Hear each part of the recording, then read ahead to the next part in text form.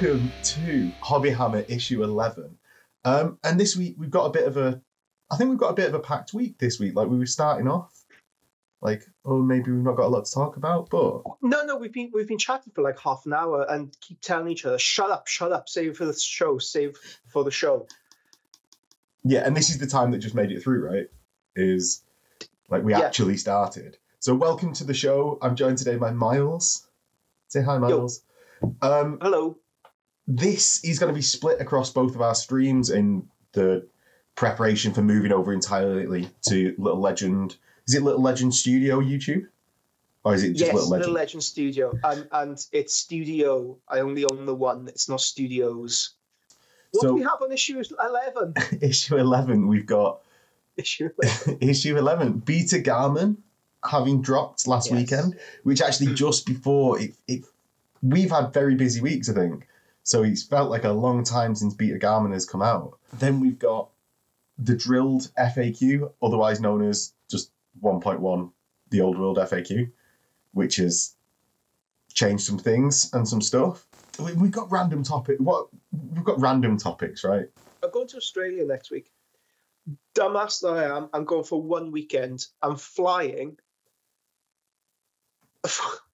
I thought, you, I thought you were rescheduling it, as in like extending your trip, because it I is just a ridiculous thing to book. but then I had to run a business on top of everything and and try and be a father and try and be a husband, you know, and try and be all these different things that I just simply haven't got the time for. I mean, my coffee machine broke yesterday, so I've had to try and become a coffee repairman, like a coffee machine repairman.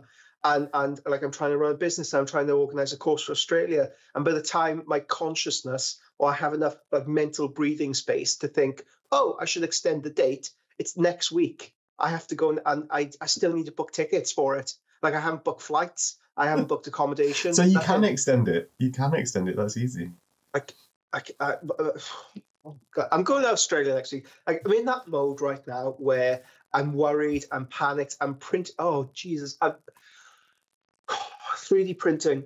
Just don't get into it.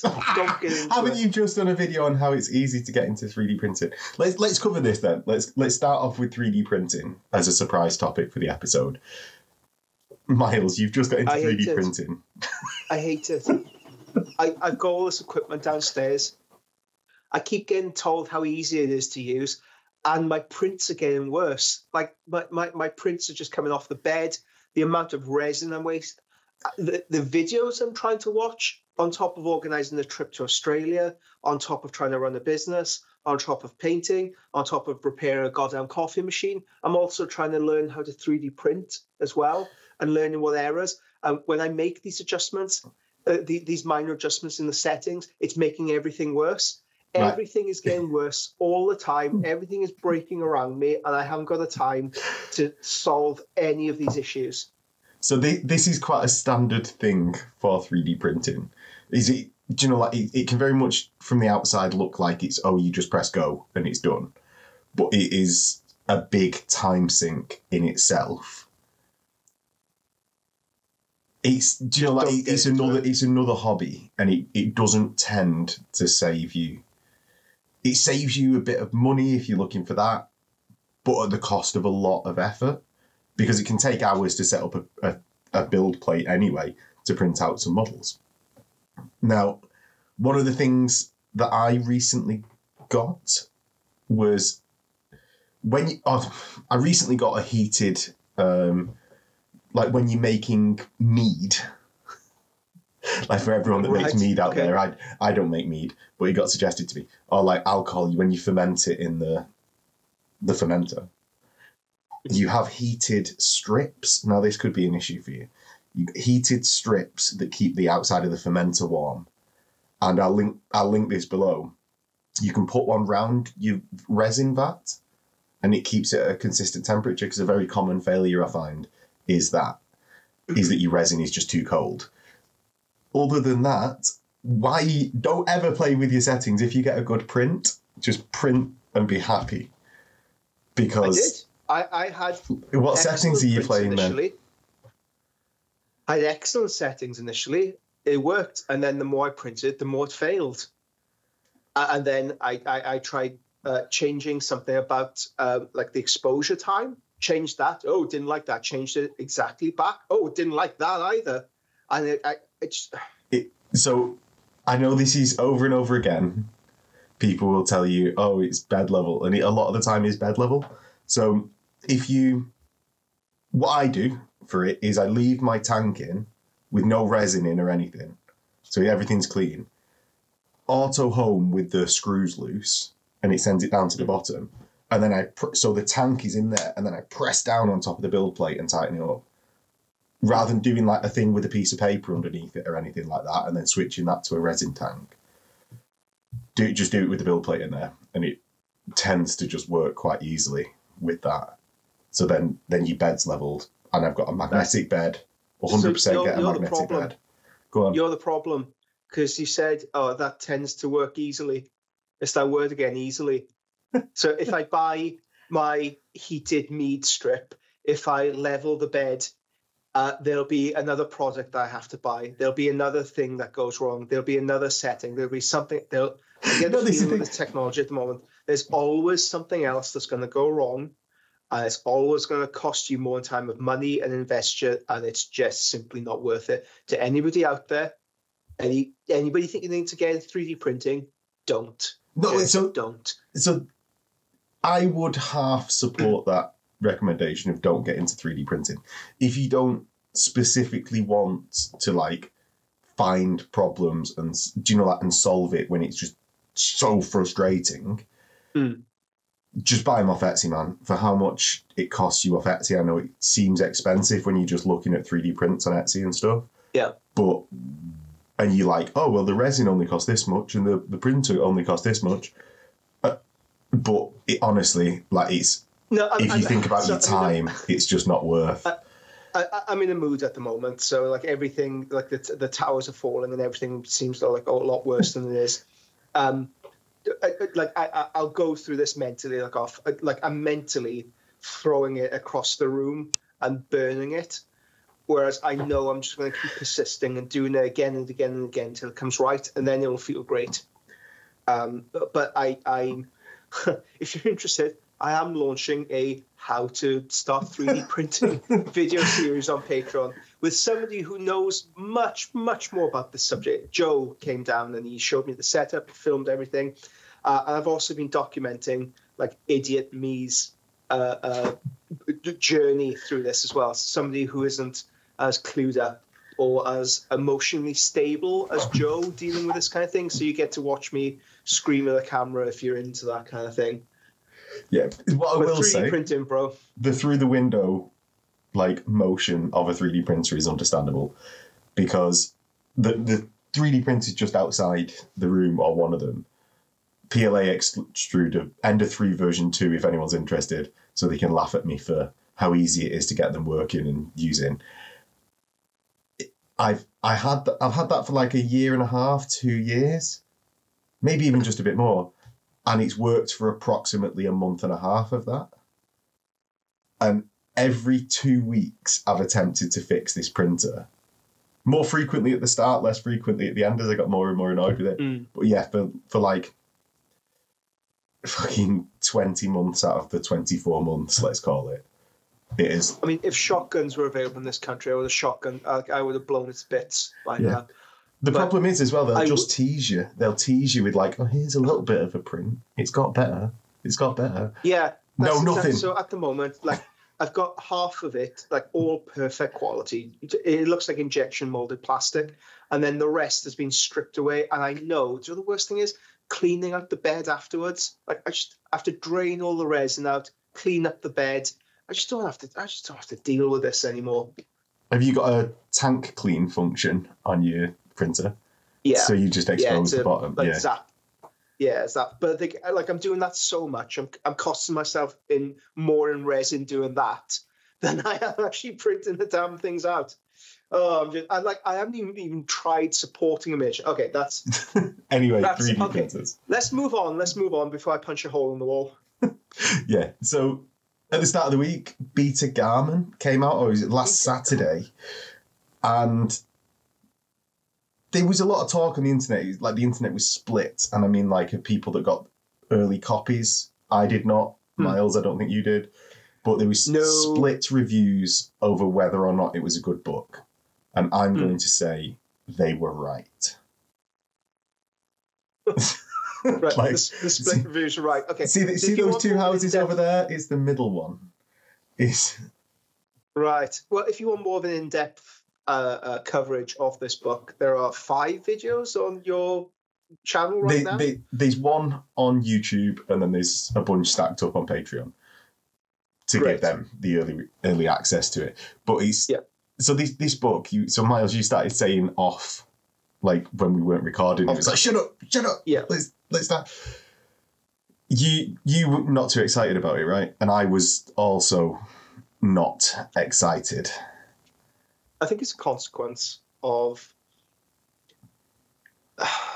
Uh, there's a few things. Um, it's a consequence of the declining quality of the heresy releases overall. So we had the first book pretty decent, a rocky start to uh, 2.0. But you felt like, okay, they're gaining their feet. Let's go on to the next release and see how they do. And then the next release was that uh, reprints of PDFs that they had The online. exemplary battles that came in what was it September? Yeah. So again, I I'm not, and this this is the first time since God knows like I'm not buying this book. It's it's not worth the money. Yeah. And then this book that came around, I, I'm again thinking, "Ah, should I invest in this? Should I not? Whereas before, any black book release was an automatic buy. You you have to fight each other to get these books because the quality of the writing, the art, oh, dare I say it, rules. Whether you like them or not, it always sparked debate. I'm, I'm glad. No, right. I'm glad you said that because I think that is key. Whether you liked the rules or not, they always spark debate. It always gave you something interesting to talk about. When the Custodes came out against the Thousand Sons, it, it was interesting to talk about. Uh, like I haven't looked at any of the rules in here, and I've only just started reading the narrative, but it reads more like a mainline uh, Games Workshop release. Uh, so the and you said something fascinating uh, in the run up to this that you. I, I- I don't want to. God, God, put words in my mouth. uh, yeah, I don't want to put words in your mouth. Put words in my mouth. It's almost like the the the the, the history and the lore is um, not important to you. It's the rules you read these books for. In in these specific books, because of Yeah. man, we both spent so much time reading the novels. Sure. It will be a couple of months before I've got the energy to actually sift through all of those. Do you know, like Mhm. when a new rule book Yeah. comes out, and plus it's it's not by. I'm gonna You're putting this a lot more politely than you did before the show. no, it's You so put this a lot more politely. the the actual quality of the writing within those those things they've not been thought out as much they've not got an overarching plan that's going to stretch across multiple books or even like they they just about stretch books. across that own book and alan Bligh had a singular vision yeah in the black books where Mhm. he knew where he was going and what where he what like he, yes. where where he'd come from. He had his roots as a working man, and So I, I, I can give you a good example here. So in book one, in book one, mm, I think one of the opening quotes was from a princeps from the uh, what, what's the null legio? The the legios for Sinister. like the psych yeah. They had a quote from princeps from legio sinister. So that meant even at book one alan knew what the legio sinister were, were and how they'd be incorporated five six seven eight books down the line. Yeah, he th- there was a plan there was a vision like you said.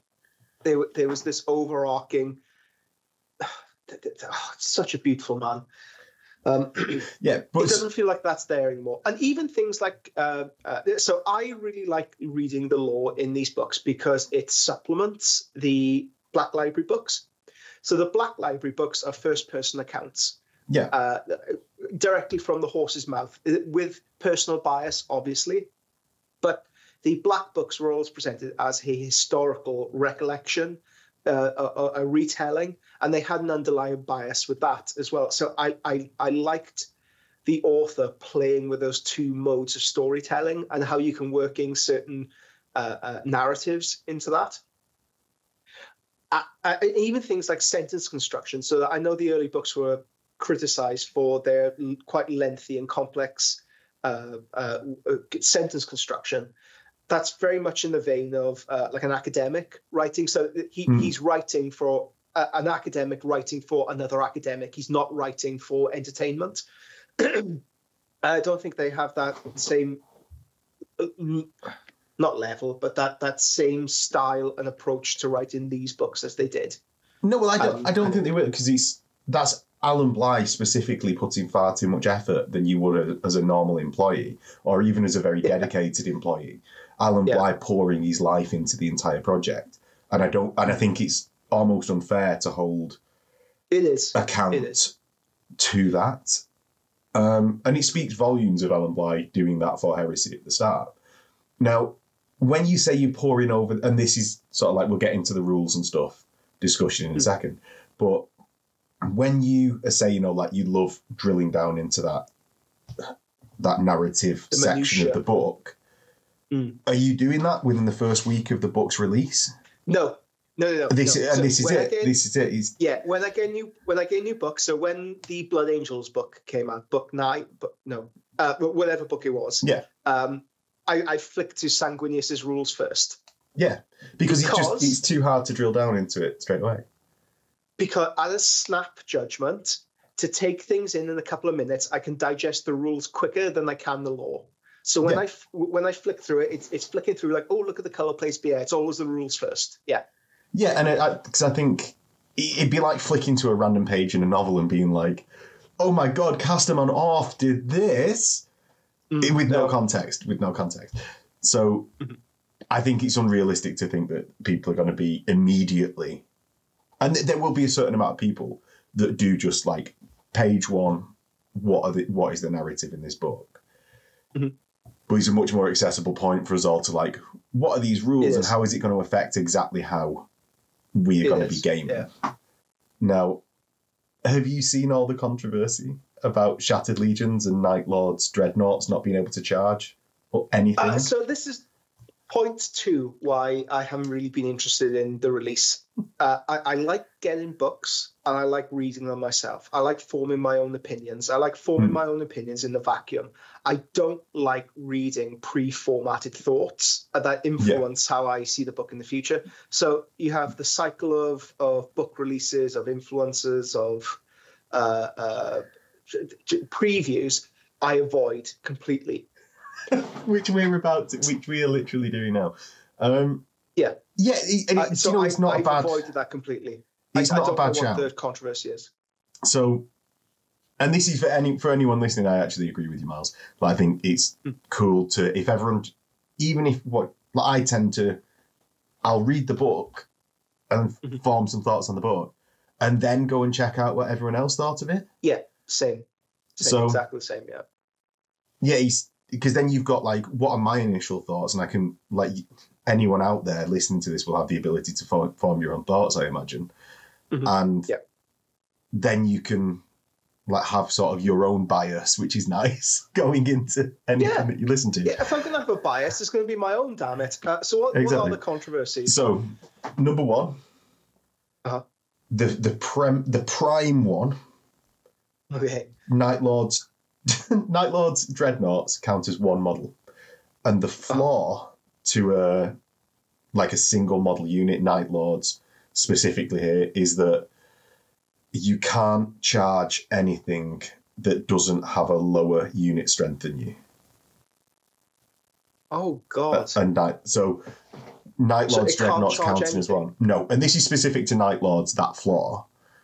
Ugh, but okay. yeah, and that is definitely a really, really bad thing. And I'm going to say That's a couple of bad things, and then why I think it shouldn't matter yeah. fully. Now, second, you've got a very confusing, like down to the minute detail set of rules for Shattered Legions, whereas in Heresy One, I, it was yeah, like I, I read them, didn't understand them. I, I just I didn't have the brain. I didn't have the bandwidth to uh, uh, to take them all on. Well, this is it, and I think that it's going to slow down. Although they put like in there, it's not made for tournament play, which is an interesting statement in itself because there hasn't really been that many or any heresy tournaments. Like it's actually been a game that shied away from tournaments for a long time. Mm. Now, although they've put that, people will be using them and trying to trying to make a good list with them and things like that. And it will be hard for your opponent to disseminate that information and just store it, and it's changing all the time. Every phase Mm. a unit can change what what um, legion rules, let's call them, uh, shattered legion rules Right. they've got. So that's going to be switching about all the time, which can be messy. Mm.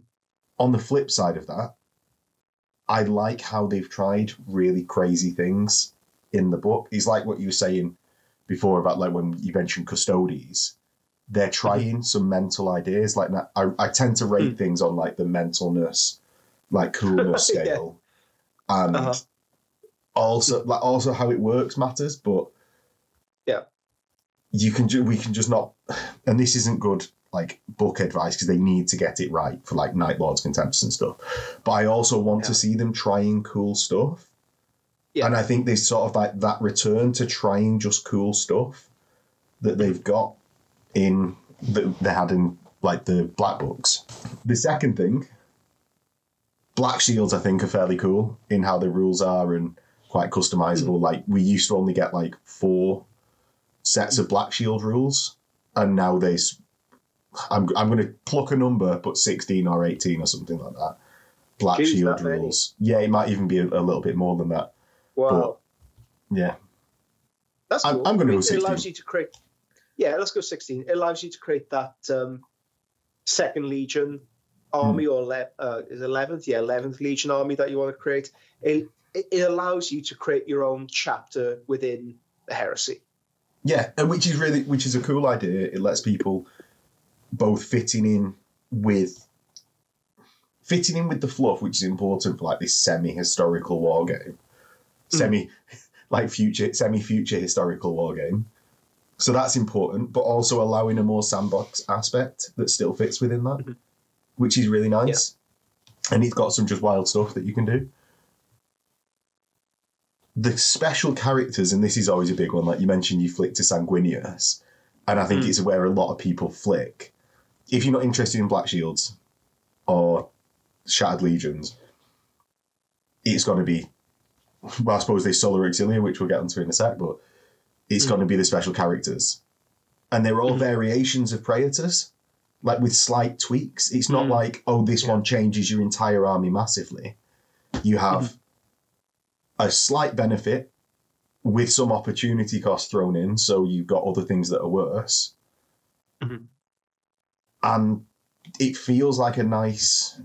Do you remember how in in book one, like Loken and Abaddon were just like Praetors with a different weapon, maybe a warlord Yeah. trait. Mhm. It it sort of feels like that. So they're like not Mhm. these Fafnir Rand style. Oh, your army is all weapon skills plus one on the charge Yeah. and stuff like that. So they've got this nice balance there. Mhm. So it sort of feels a bit of a return in at least how they're treating it in that way back to the black books. Mhm. Oh, that's they, I found it very reminiscent of the what's just some of the wild stuff that was going Mm. on at that time. So I think they've made a good effort there. Obviously, the rules need tightening up, but Mm. that could have been said. Like, and then there's some massively glaring ones in this one, right? Massively glaring, but also haywire termites were broken as hell in Heresy One, Mm. or re-rollable Praesidium shields for shield caps Mhm. were Yeah. broken as hell. So it's not, and it's stuff that has just gone on forever because they Heresy has been a largely passion project for a long time. It, it, I mean, there, there is no perfect rule system, right? And the, the, sheer amount of information that you need to produce, uh, it, it can't always go through that level of of uh, play testing and discernment. And I know if I was put in that position, there would be a lot more mistakes in these books. So I, I really can't be too critical or too hard on the writers behind this. not really knowing the time scales that they have to work on these things. Uh, and if you can solve these, or just if you know, there was the Night Lords thing, not being able to charge, just common sense should override Yeah. that. And you should say with your friend, like, yes, of course you could charge. Uh, but for me, main selling po- uh, point of these books, lore and color plates, which I can enthusiastically say are very good. They've retained the quality of the older books. Hmm. Uh, and the, the color plates, they give you, if you look at the color plate, I think, oh, I could collect a small Mortalis force. It's done its job. And I've I experienced that quite a few times uh, in this book. So, shall we Um, pull up a colour plate and you can take us through what you were looking for in a good colour plate? So this is one of the cool color plates that I like the look of. I, I, I like that, that you have red on one side and not the other. Um, I like the the, the the difference in the color plate in the um, shoulder pad here. Just gives you an interesting uh, view on the army. Uh, what else do you have? There's a World Eater one in here that is really doing the rounds. And a lot of people have asked about this already because you're starting to see the change in the Legion, how the blue is being bleached. Hmm. And then you have the blood splatter and the red becoming more and more of a thing in the Legion. You see the Khorne symbol.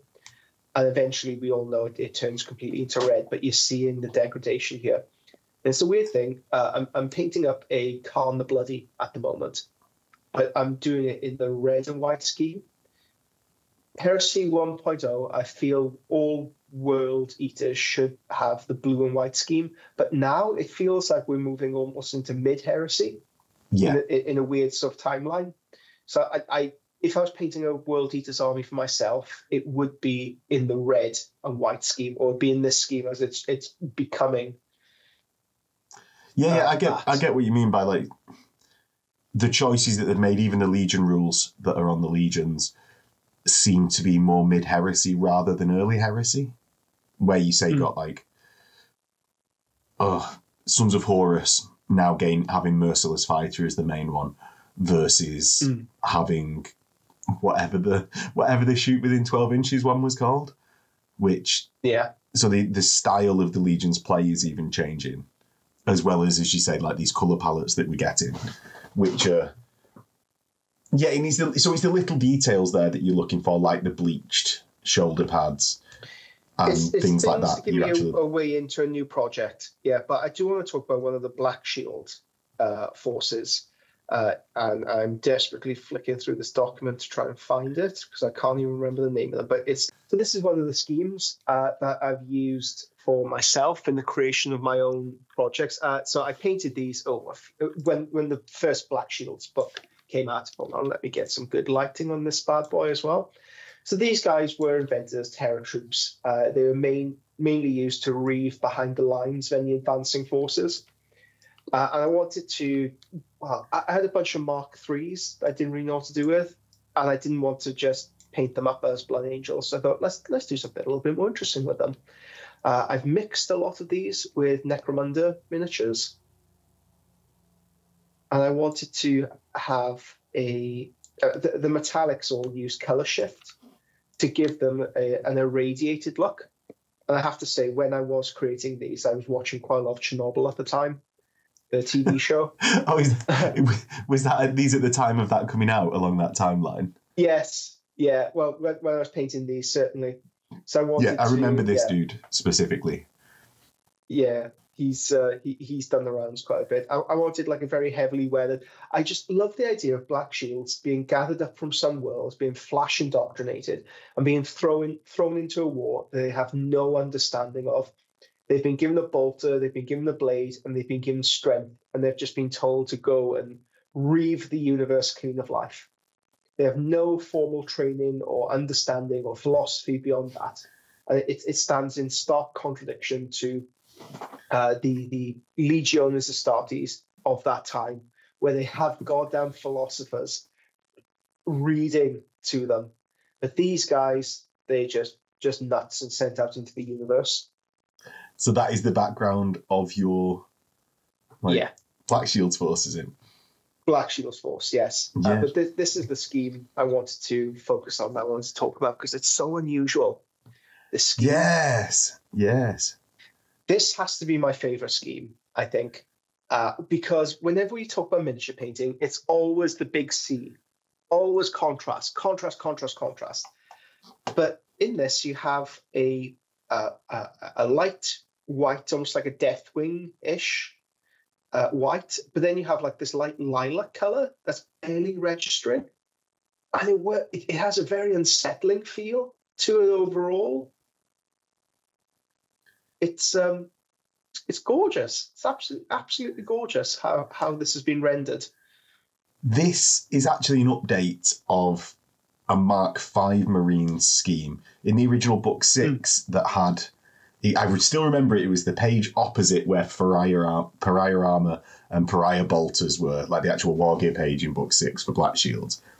There was a Mark V Marine with these like sort of swirls around its studs, mm. and the, that scheme is actually an update of that. That's my favorite Black Shield it's the scheme. Garrison, Garrison host, mm. and, and uh, there, there there are some painted examples in the back, but uh, if you want to see them, go buy the book. Um, no, it's well, it's almost then that color palette. Nothing could ever do it justice because it's just so, so good with those swirls and yeah. stuff. um, this is a very good basis.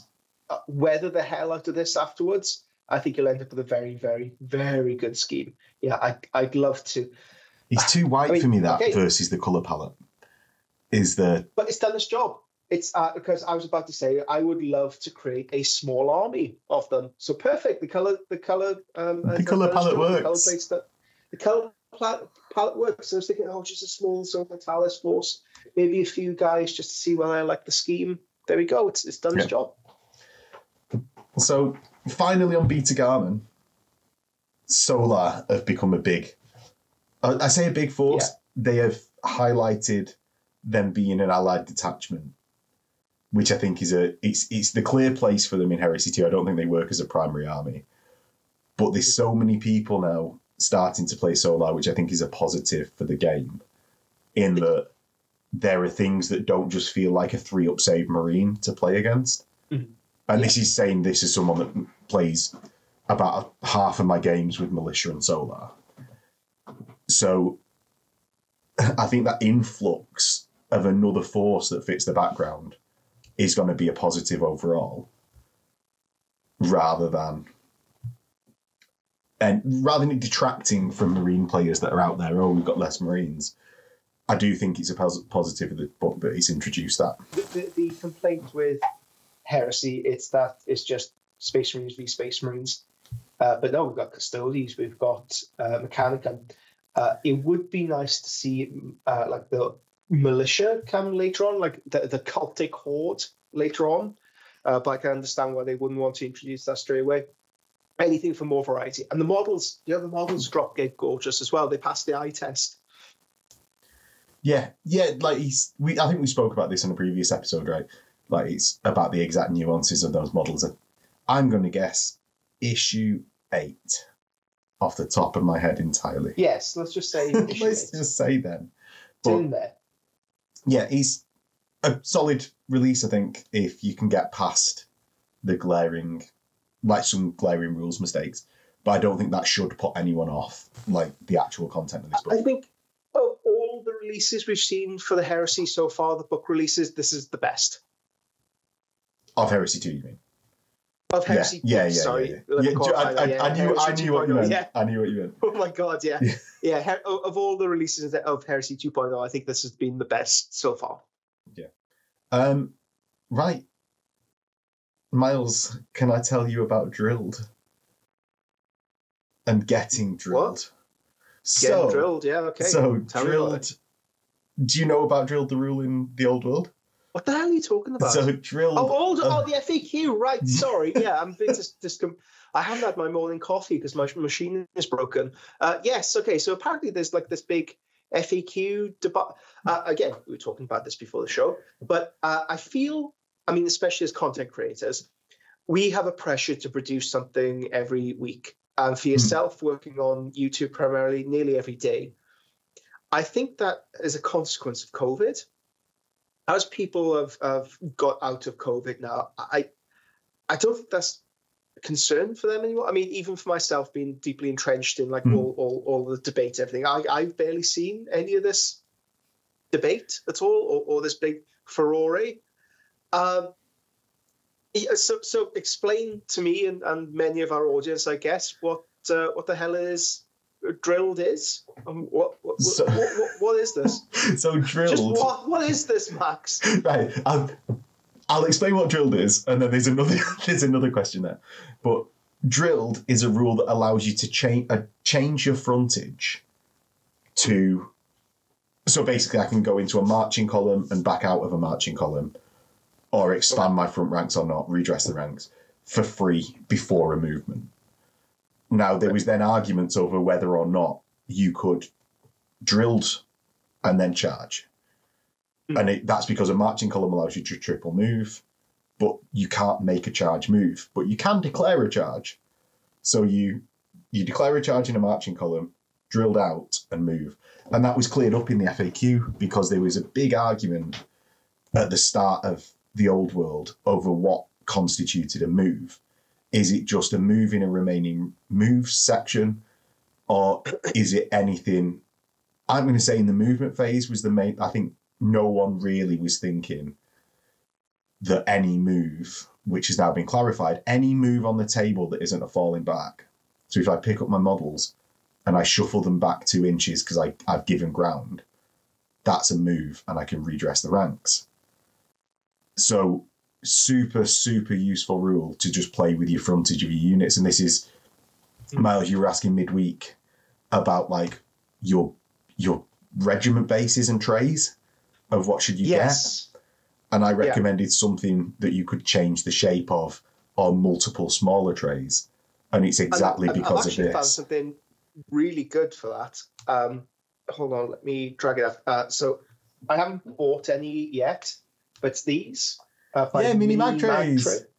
Yeah, Yeah. th- I know the problem is they don't have like that nice lip to them, but it does give the ability to like put them together, Yeah, so th- these are really, really good actually.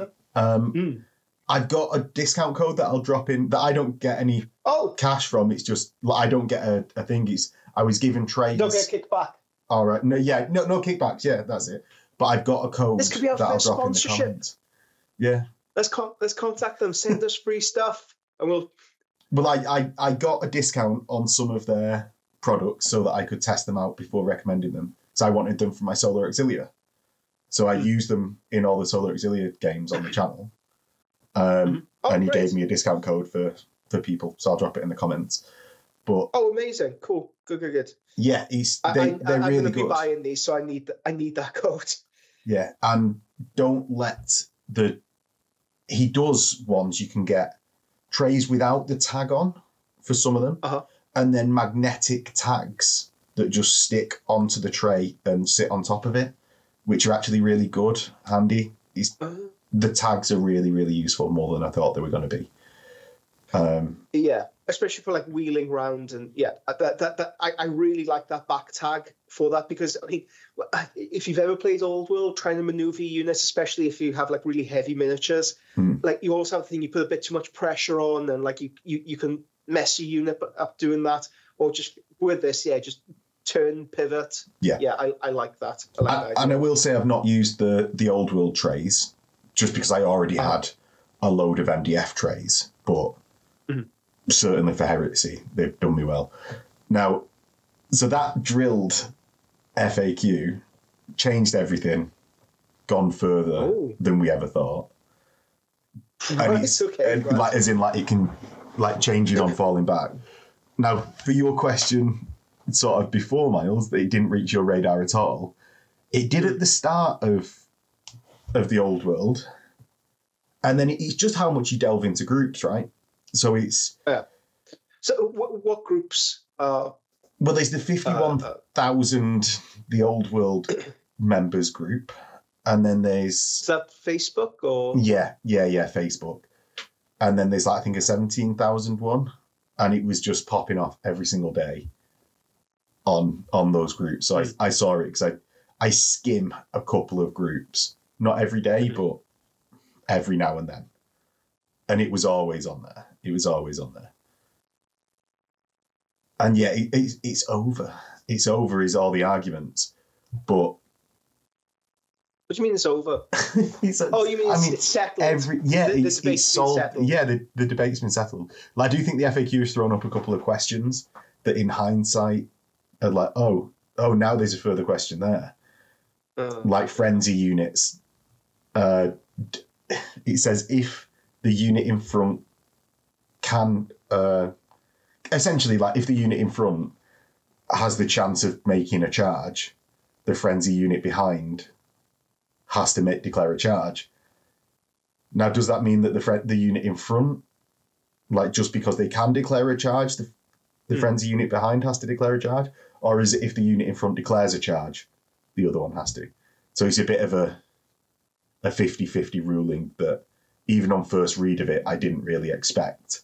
I thought it had Hmm. cleared it up, and then in the days that have come, like oh, it's it's thrown a bit of a spanner in. But it's at least good to see ongoing ongoing support, like that's really Mhm. quick for the game. Uh, yeah, and I guess thoughtful responses as well. I mean, it feels like everything that the old world is doing, it, it's thoughtful, it's considered, it, it's it's done well. Yeah. Yeah, now what wasn't considered, Miles, is on on Wednesday, me and a guest, Richie. Hi Richie. Um Yo, Rich. we put out a, a video just talking about his he won the first GT to be held. I say won. He Oh. he best overall, so he got most like best best game votes. He got most best game votes, army votes, and wins to combine into. And he might not have got the best of any singular one of them, but Sure. What, The combined score. dwarfs, which has been really low in the Oh, the Woehammer statistics, which have been putting dwarfs like right near the bottom, I think third from the bottom, he managed to get it with dwarfs. uh, all those soft scores adding up. yeah, yeah, well, it, but maybe, maybe. So that is then like I interviewed him, and just as an offhand question was like, "Well, what are you thinking for? what are you thinking for future ideas on the list?" And he'd been like, he'd had a few drinks. I was, I'd had a few drinks, and so he just spitballing some ideas like completely off the top of the head. And he was like, Yeah. "You know what, man? Like, bound items don't make your wizard a wizard." uh, don't make your model a wizard. And dispelling says you nominate a wizard in range of the en- enemy wizard, Oh God! which Okay. would then imply that you can't dispel them. And it, I'm not suggesting this. I'm not suggesting this, and neither is Richie. no. We've like No. it's so is this two second comment on a video that we just like. Do you know we're just joking about like we're doing like we tend to do in the Yeah. past. And man, that blew up. Yeah, yeah, yeah. So Can you read out one of the comments? Find, find one now. I want you to read out. I want you to read no, out. well, I, I, I won't tell you the exact readout, but there was it morphed on the it, so it morphed on one of the groups into the TOs. So that's bringing in other people, like other people with channels, because it's the Squarehammer guys got like dragged into it. The TOs had said that he could do this. I can't believe he cheated. He's like, man, this was future list ideas, and he never he didn't have any bound items in his list. And the TOs had apparently told him that what to do, even though they never got mentioned. Um, ah, it just it just morphed to the point where Right, he was okay. like, I don't know whether these guys have even watched the video that they're so raging about. So that that happened this week. Is you also can surely dispel bound items because under that logic you wouldn't be able to cast them because only wizards can cast spells. So it surely wouldn't be the case. But it's been it's been, it's been going on. I'm, I'm, I'm, oh, the- the- was there like a shame? So Miles, we've been joined by a visitor, or you've been joined by a visitor. Yeah, my little dog Riley. Hello, Riley. So he keeps me company in my office day to day, and he's just settled down. And if you ever do uh, an event here, or if you do like a, a weekend with me or a studio day, you can meet Riley if you want on special request. I'll bring him along. I have to warn you, he is a little bit crazy, aren't you? Aren't you? yeah. So that essentially just covers like that that offhand comment that blew up a little bit. But Yep. yeah, he's the internet's a funny place, man. The internet's a funny place, man. Yeah, I'm just I, I was just sort of hoping that the guest doesn't get put off doing more stuff. Like you've sort of got to be a a little bit inured He'll be fine. to anything. Uh, Yeah, well, hopefully, like, yeah, and I think he will be. Like, he's he's pretty chill about things. It's not like he's going to get like hecklers on the street or anything. No, no. Well, he was he was telling me that he pre he's once been on a radio show for like BBC or something like that because he's like quite a he quite a good tattoo artist to the level that Uh-huh. he would get interviewed by BBC. Yeah. and they st- it was like just after the Euros, and he started he got interviewed on his tattooing, and they started asking him about like the football, and he knows nothing about the football, so I just got the worst the worst look in interviews.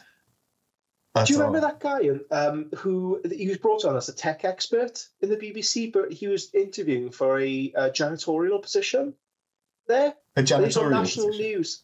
Yeah, he was janitorial position, and um, he, he he was there. He was asked, "Okay, what what do you think of the, I know, uh, uh, upcoming influence of AI in work?" He's like, uh, I I think it's a bad thing. Uh, Yeah, that that sort of thing. Was he how he described it? And we'd been talking about it just before we went on. And then it seems like he's just a jinx with it. But yeah, that, that has been my week anyway. Editing videos, looking at FAQs and new rules. What have you been doing anything that is more interesting?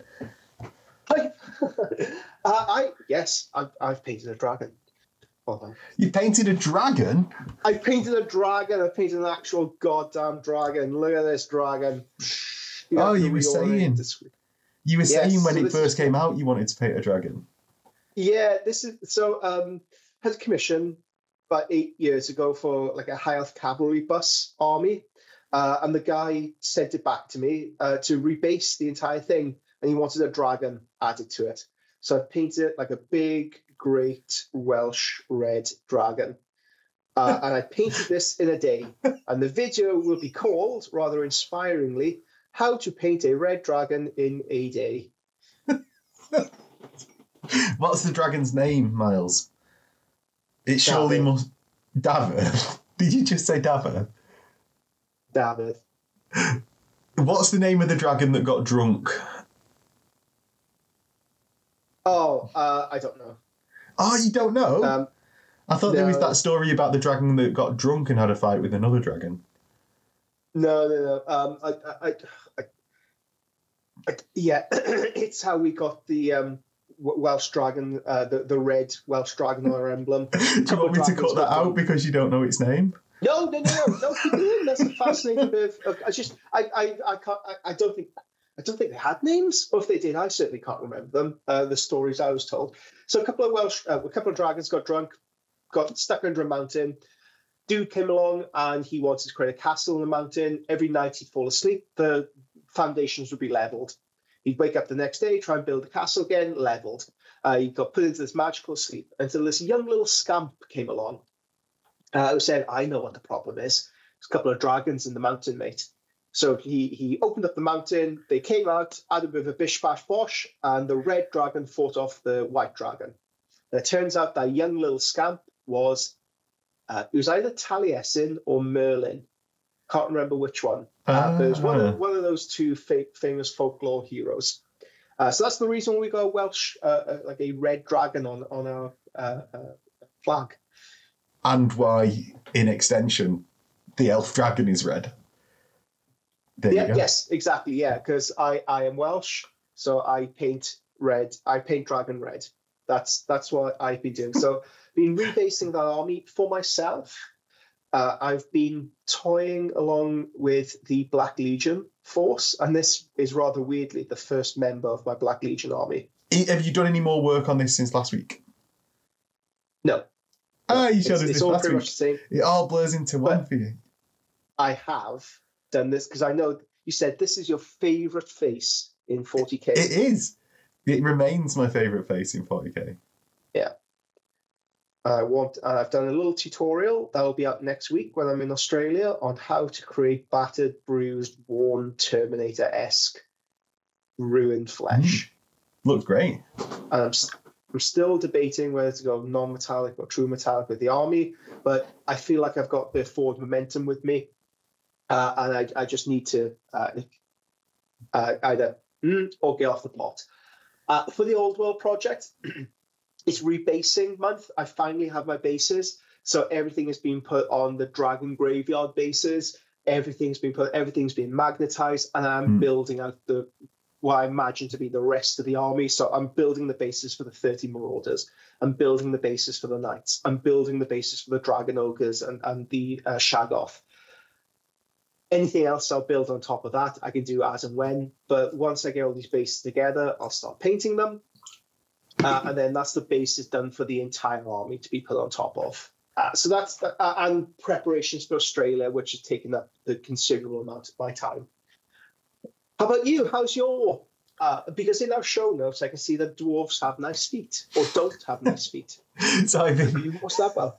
uh, I need to get the images. So Cartoon monster sends me crazy. it's it's we, we've just been talking. Yeah, we've just been talking about uh, coffee. Like I need, I need a coffee machine working again. for Some manner of coffee, and you drink Monster. I, it, coffee makes me crazy. Um, sorry, the Monster makes me crazy. I can't, I can't do it. In, in what way? Uh, like you run around all over the all over the place? No, I get anxious. I get really, really anxious, and my my mood turns bleak. Please. Uh, I, I bleak. I can't cope with the smallest setbacks, like a broken coffee machine. Fair. Fair. So, up on screen now are the dwarves that I was hunting about for.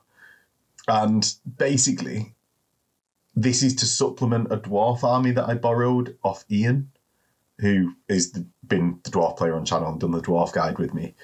So, I've just been playing about with some fairly classic ways of painting rather than trying anything crazy, except the only thing that I've done differently is I've used Sharpies on all of the metals. Uh-huh. Um, do you know what? And for the amount of effort that I put in, because I needed to just like not think about them, and it's like it been in between editing, doing like this and that.